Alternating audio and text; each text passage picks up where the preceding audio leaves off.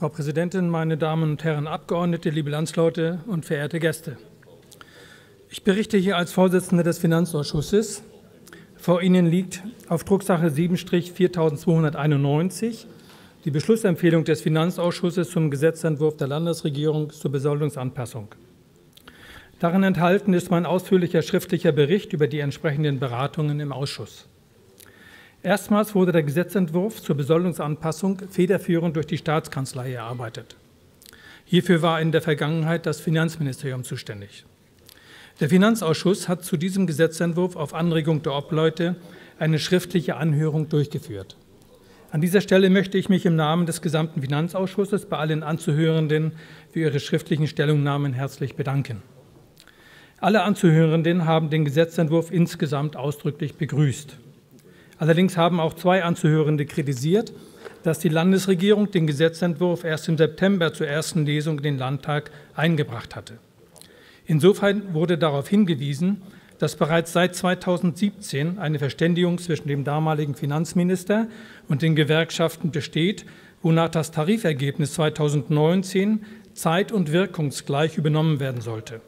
Insofern hätte der Gesetzentwurf auch deutlich früher in den Landtag eingebracht werden können. Zudem haben verschiedene Anzuhörende darauf hingewiesen, dass der Vorwegabzug von 0,2 Prozent der Besoldungserhöhung zum Aufbau der Versorgungsrücklage bei künftigen Besoldungsanpassungen entfallen sollte, da dieser in der Folge eine dauerhafte Absenkung der Besoldung und Versorgung darstelle.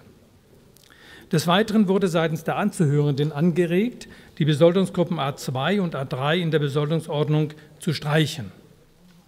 Im Ergebnis der Beratungen haben die Koalitionsfraktionen die aus der Beschlussempfehlung ersichtlichen Änderungen beantragt. Mit der Änderung in, in, Artikel 6 des Gesetzentwurfs sollen die Besoldungsgruppen A2 und A3 aufgehoben werden. Ferner sollen die Beamtinnen und Beamten, die am 31.12.2019 in der Besoldungsgruppe A2 und A3 eingruppiert sind, Kraft Gesetzes in die Besoldungsgruppe A4 übergeleitet werden.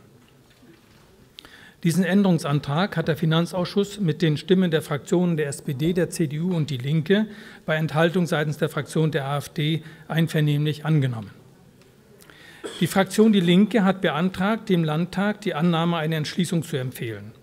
Danach sollte der Landtag zunächst feststellen, dass wir uns auch zukünftig mit anderen Bundesländern in einem stärkeren Wettbewerb um Fachkräfte befinden werden. Um die Attraktivität der Landesverwaltung Mecklenburg-Vorpommern als Arbeitgeber zu erhöhen, sollten ferner bei künftigen Besoldungsanpassungen auch alle Stellen- und Erschwerniszulagen mit angepasst werden. Zudem sollte der noch bestehende 0,2-prozentige Abzug für die Versorgung künftig entfallen. Diesen Entschließungsantrag hat der Finanzausschuss bei Zustimmung der Fraktion Die Linke, Gegenstimmen der Koalitionsfraktionen und Enthaltung seitens der Fraktion der AfD mehrheitlich abgelehnt. Zudem hat der Finanzausschuss der Beschlussempfehlung insgesamt mit den Stimmen der Fraktionen der SPD, der CDU und Die Linke bei Enthaltung seitens der Fraktion der AfD einvernehmlich zugestimmt. Vor diesem Hintergrund möchte ich Sie nunmehr abschließend um Ihr Votum zur vorliegenden Beschlussempfehlung bitten. Vielen Dank für Ihre Aufmerksamkeit.